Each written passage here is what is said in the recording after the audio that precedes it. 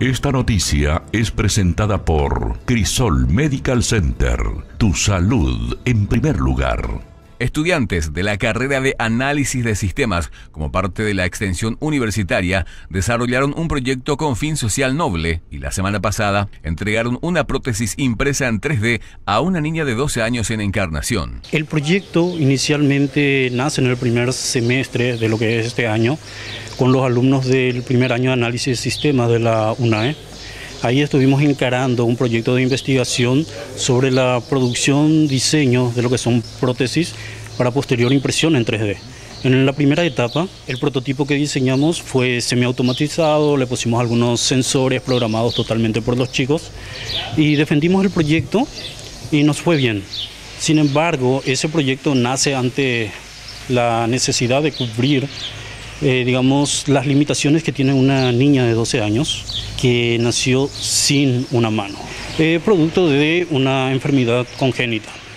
Justamente parte del proyecto encaró la investigación de este tipo de, de enfermedades, tal es el caso que pudimos contactar con personas de Asunción que se encargan de también llevar una investigación sobre este tipo de enfermedades congénitas. Tenemos muy buenas relaciones con los encargados de este centro en, Asunción y por ahí nos brindaron muchísimas informaciones que la pudimos utilizar para poder llevar adelante la segunda parte del proyecto que es la que finalizamos en estos días. Nosotros muy pero muy satisfechos con el equipo de tres compañeros estudiantes de primer año que se pusieron la posta en esa segunda parte y pudimos sacar adelante el proyecto que fue bastante complejo en el sentido de trabajar con un diseño a medida y que se ajuste a todas las necesidades que la niña quería.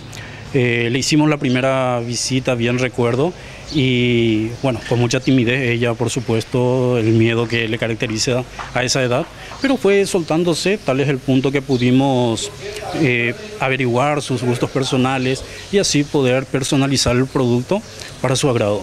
Una de las más importantes fue hacernos de los materiales y recursos eh, tecnológicos adecuados para, el trabajo.